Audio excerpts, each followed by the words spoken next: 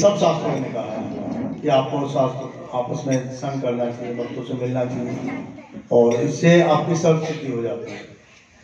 जो आप करना चाहते हैं, वो हो जाता है।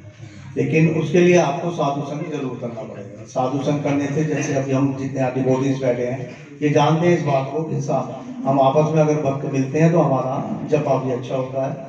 और कहीं जैसे धाम यात्रा पे हम लोग जाते हैं तो वहाँ पे भी हम लोग सिर्फ़ भगवान श्री कृष्ण की बातें करते हैं उन्हीं के बारे में चर्चा होती है। अगर हम अलग से जाएँगे तो हम कैसी बातें करेंगे? फर्जलपा करेंगे हम भौतिक बातें करेंगे कि उसने ये कहा उसने ये कहा उसी में आपका सारा सफ़र खत्म हो जाएगा। लेकिन अगर हम भक्तों के साथ जाएँगे कहीं तीर्थ पे जाएँगे भगवान के दर्शन करेंगे तो भगवान के रूप को निहारेंगे कि कैसे भगवान को देखना है हमें चरणों से देख के चेहरे तक देखेंगे। लेकिन वो सब भक्तों के बीच में होगा, नहीं तो वहाँ जाएँगे, वृंदावन जाएँगे चाट पकौड़ी खाएँगे और वापस आ जाएँगे सैटरडे संडे बिताएँगे, वहीं पे और वापस आ जाएँगे, उसका कोई फ़ायदा नहीं। हमेशा भक्तों का संग करना ज़रूरी है, तभी हम आगे बढ़ पाएँगे। इसमें महाप्रभु ने भी भक्तों का संग किया था और प्रोपाद ने प्रोपाद जी, जिनके हम ये मिशन चल रहा है, जिनका ये मिशन चल रहा है, जिनका इस्कॉन में, जिन्होंने इसको, जो फाउंडर आचार्य हैं हमारे, उन्होंने भी क्या किया था? बताए किसी को। अब बताएँगे? उनके आने से क्या हुआ था? जब वो वहाँ अमेरिका गए थे तो क्या हुआ था? वहाँ भक्त थे? बहुत सारे भक्त थे। नहीं थे, वहाँ कोई भी भक्त नहीं था।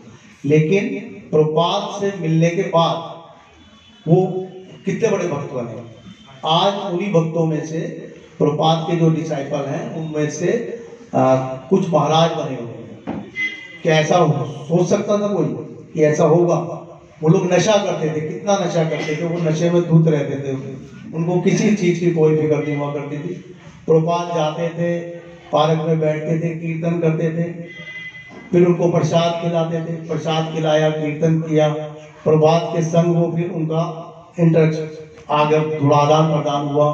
प्रभात ने उनको प्रसाद खिलाया, कीर्तन सुनाया, वो नाचे, गाए, प्रसाद पाया और धीरे धीरे प्रभात के साथ रहते रहते वो भक्त बन गए। फिर तो उन्होंने ऐसा कर लिया कि जो प्रभात ने कहा, वही माना। उससे पहले वो कुछ नहीं मानते थे, किसी की सुनते भी नहीं थे, हमेशा नशे में रहा करते थे। और उसके बारे में पढ़ा भी होगा भक्तों ने।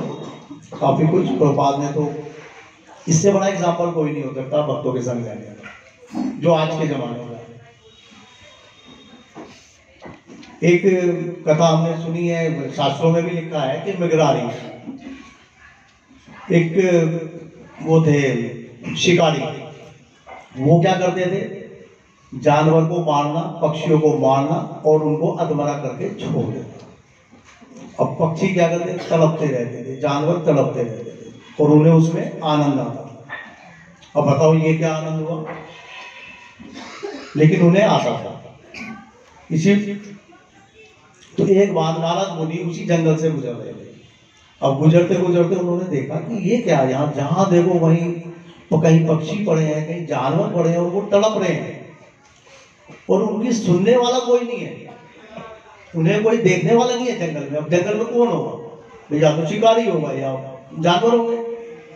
और कौन होगा जंगल में? साधु महाराज होते हैं तो वो अलग होते हैं। अब जब वो जा रहे थे, रास्ते में जा रहे थे उन्होंने देखा एक शिकारी खड़ा है। उन्होंने उससे पूछा, भाई, ये क्या है ये? ये तुमने मारा है क्या इसको? उन्होंने कहा हाँ मैंने मारा है। भाई, तुमने मारा है तो इनको मार ही क्यों नहीं दिया? ये तड़पा क्यों रहे हो इनको? वो कहते, मेरे को आनंद आता है। इनको तड़पाने में मुझे आनंद आता है। अब उन्होंने कहा ये तो तुमने तुम अच्छा नहीं कर रहे इसका तो तुम्हें पाप लेना पड़ेगा ये तो तुम पाप कर रहे हो।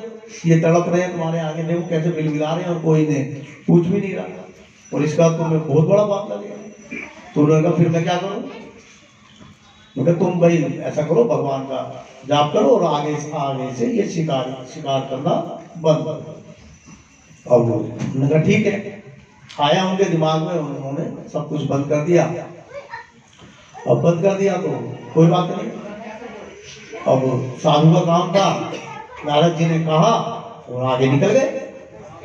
फिर कभी आए एक साल बाद, हमारे समय के हिसाब से साल भर बाद तो कभी फिर उस जंगल से गुजर रहे थे।